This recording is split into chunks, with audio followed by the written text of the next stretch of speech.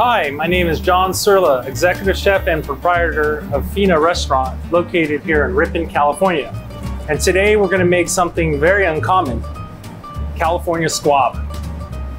Now let me show you one of my famous recipes that we make at the restaurant. Here we have a double breast of California squab. It's um, boneless and it has a skin tack. Here I'm going to season with a little olive oil and salt and pepper on both sides.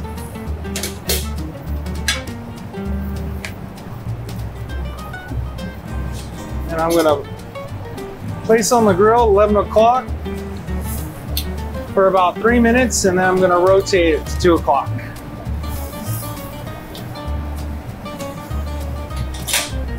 Over here, I'm to be making a stir fry.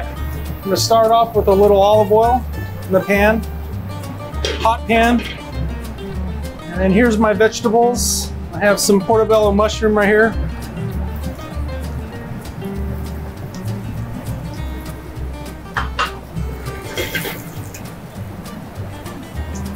Just want to season lightly with salt and pepper.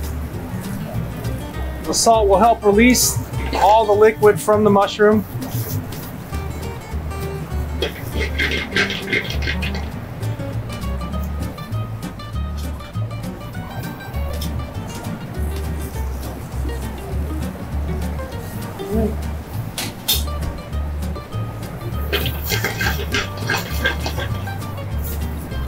So once your mushrooms have sweated down for about a minute,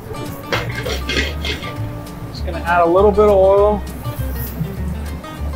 I wanna start with my hardest vegetables. So I have some carrots here, green beans and Brussels sprouts.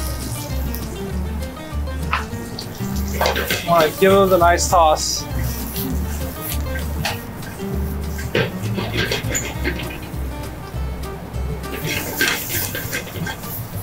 The oil will help give that nice shine on the vegetables and help cook them.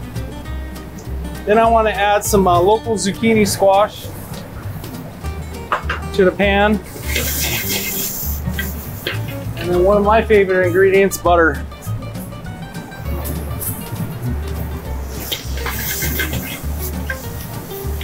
So the sauce I'm going to add to this is a hoisin plum sauce. Found at your local Asian aisle in your grocery store. Um, take 50% or one part plum sauce to one part hoisin sauce. So now you can see the water releasing from the mushroom and the zucchini and all the vegetables, creating nice steam.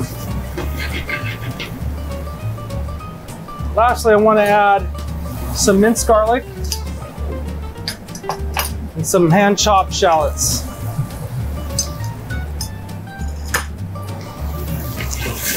You don't want to add your garlic in the beginning because you can burn it, so I always add it at the end.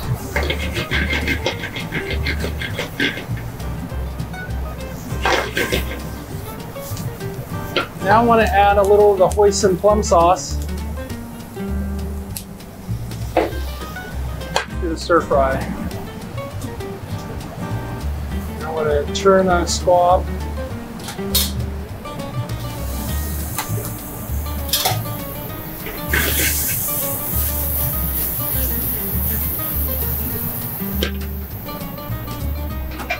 Ooh, that's hot. Ooh, that's hot.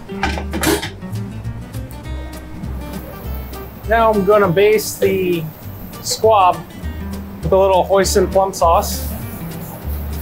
This will help give it a little bit of color. Never ever add this plum sauce in the very beginning. It will burn. We just want to create that nice barbecue effect.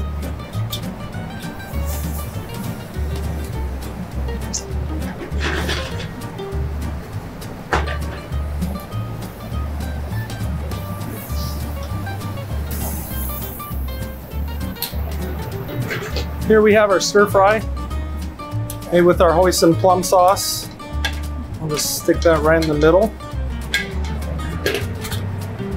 And I'm gonna take my squab here, my sharp slicing knife.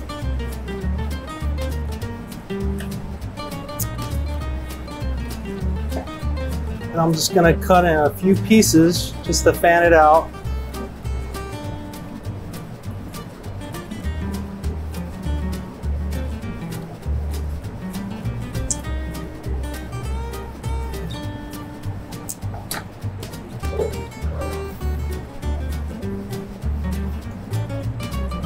The squab. So here's the squab, the two breasts. Place it right on top, like so. And I have some fresh scallions or green onions to garnish. And then I'll just take a little bit of that hoisin plum and just brush the tops. And there you go. There's your Chinese stir fry made with grilled squab and a hoisin plum sauce.